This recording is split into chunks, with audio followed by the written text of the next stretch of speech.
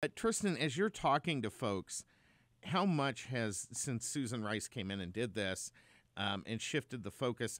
How much do you think this is affecting not just FEMA but all these other federal agencies that their mission has been redefined from whatever they were created to do to being this number one focus on creating diversity, equity, and inclusion goals and guidelines?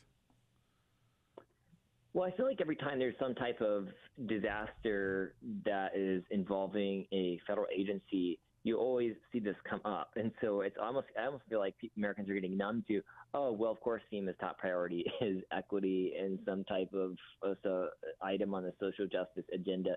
I think we saw that with East Palestine train derailment. I think we see that with um, uh, uh, other agencies just not really uh, focused on their core mission. Uh, you have Gina Raimondo, the Secretary of Commerce, uh, being a surrogate for Kamala Harris, and then she goes on to CNBC and they ask her, "What are you going to do about this port strike that's uh, going from Maine to Texas?" And she goes, "Well, I'm not really focused on that."